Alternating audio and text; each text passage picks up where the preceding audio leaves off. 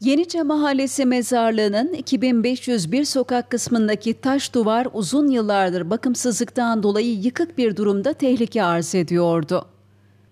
Duvardan kaldırım ve yola düşen taşlar dolayısıyla hem yayalar hem de sürücüler zor anlar yaşıyordu. Isparta Belediyesi taş duvarın yenilenmesi için çalışma başlattı.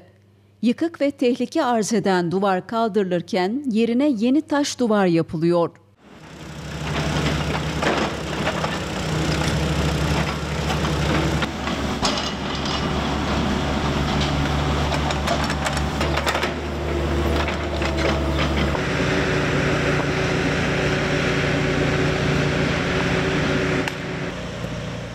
Yenice Mahallesi muhtarı İsmail Akkaya, zamanın şartlarına göre yıllar önce yapılan taş duvarın yıkık durumda olması dolayısıyla kaldırımda yürüyen vatandaşlar için tehlike arz ettiğini, bu durumu belediyeye bildirmelerinin akabinde çalışmaların başladığını söyledi.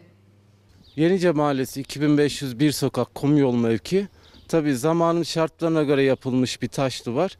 Ee, taş duvarımız yıkılmıştı ve buradan vatandaşlarımız kaldırımda yürümekte zorluk çekiyorlardı. Bizlere yapılan talepler üzerine bizler de Sayın Belediye Başkanımız Şükrü Başdeğirmen ve Serkan Kaya Başkanımıza ilettik ve gereken çalışmalar başlatıldı. Burada en büyük sorunumuz yolun yanlış açılması. Sağ tarafa doğru yolun iniş kolunda alt kavşak birbirini karşılamıyordu.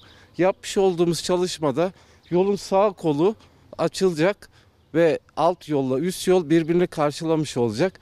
Bu sebepten de mahallelimiz daha güvenli olmuş olacak.